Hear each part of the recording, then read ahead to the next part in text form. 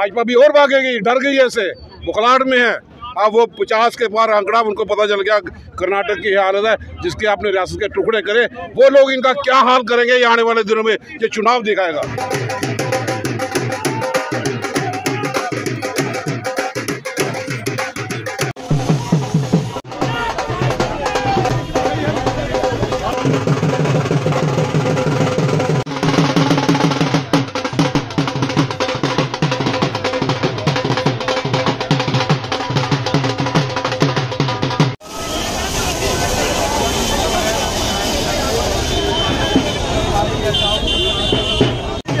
Come on.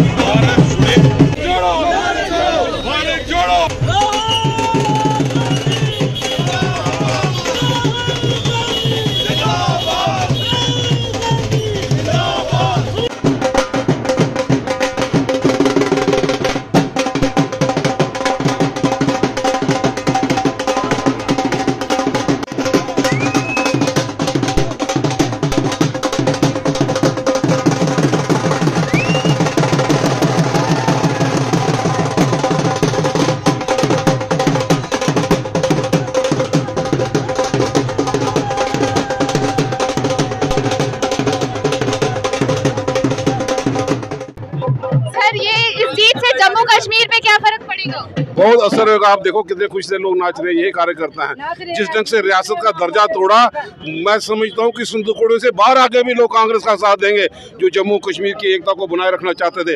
जिस ढंग से रियासत को तोड़ के धज्जियाँ उड़ा दी यूटी की महाराजा हरि सिंह के सपने को चकना चूर किया लोग बेसब्री से इंतज़ार करेंगे चुनाव की घोषणा तो करें अब भाजपा बुखला चुकी होगी वो जम्मू कश्मीर में हो सकता है असेंबली के चुनाव को और ज़्यादा कर में।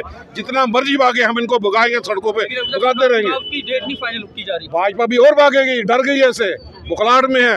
अब वो पचास के पार आंकड़ा उनको पता चल गया कर्नाटक की हालत है जिसके आपने रियासत के टुकड़े करे। वो लोग इनका क्या हाल करेंगे ये आने वाले दिनों में ये चुनाव दिखाएगा। इस जीत से कांग्रेस की राष्ट्रीय छवि पे क्या फ़र्क पड़ेगा? कांग्रेस की राष्ट्रीय छवि पे पूरे मैं समझता हूँ जिस ढंग से राहुल गांधी की सदस्यता को रद्द किया लोकतंत्र की हत्या की डेमोक्रेटिक इंस्टीट्यूट को बुलडोज करने की कोशिश की यहाँ तक कि वो ये हनुमान जी या बजरंग बली भी अपना हक जमा रहे थे।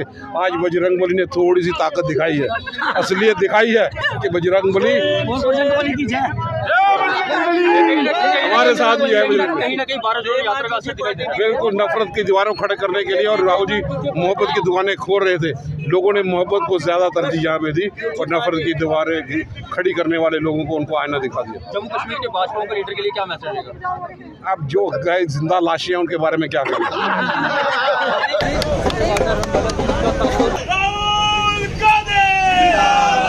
नमस्कार, मैं अभी मौजूद हूँ योगेश सानी जी के साथ।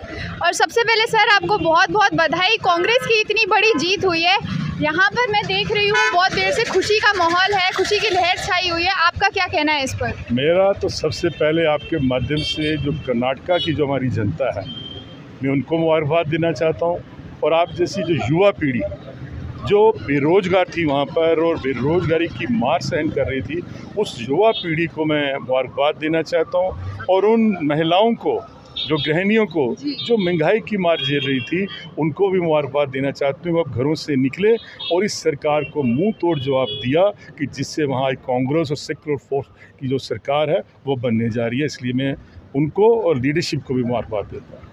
ऐसा देखा जा रहा है कि पिछले कुछ समय से कांग्रेस काफ़ी कोशिश कर रही है कि उसकी जो राष्ट्रीय छवि है उसमें सुधार किया जा सके। भारत जोड़ो यात्रा सबसे बड़ा एग्ज़ाम्पल है। तो इस जीत से क्या आपको लग रहा है कि धीरे धीरे ही सही कांग्रेस की छवि में सुधार आ रहा है और अब कुछ नई लहर आने वाली है देश में? कांग्रेस की छवि पहले भी अच्छी थी और ख़ास करके गरीब अवाम जो था और युवा जो थे वो इसके साथ जुड़े थे कांग्रेस के साथ और जो हरकतें सरकार ने राहुल जी के साथ की। पहले उनकी मेंबरशिप ख़त्म की फिर उनको घर से बेघर किया। और लोगों के दिल में कोई दर्द था दुख था और जिस तरीके से राहुल जी ने भारत जोड़ो यात्रा जो निकाली अपना पूरे हिंदुस्तान के अंदर कन्याकुमारी से लेकर कश्मीर तक और जो एक नारा उन्होंने दिया कि नफ़रत छोड़ो दिलों को जोड़ो और भारत को जोड़ो और आज उसकी मिसाल नज़र हमें कर्नाटका के अंदर नज़र आई जिससे युवा लोग भी जुड़े हुए महिलाएँ भी कांग्रेस के साथ जुड़ी। आप राहुल जी के फंसने को हरकत कह रहे हैं क्या आपको लगता है कि उनका जो कमेंट था स्टेटमेंट था वो गलत था या सही था? देखिए मैं उसके बारे में कुछ नहीं कहना चाहता कहाँ क्या हुआ। अगर गहराई में सोचें तो कोई ऐसी बात उन्होंने पर्टिकुलर किसी इंसान के लिए नहीं की।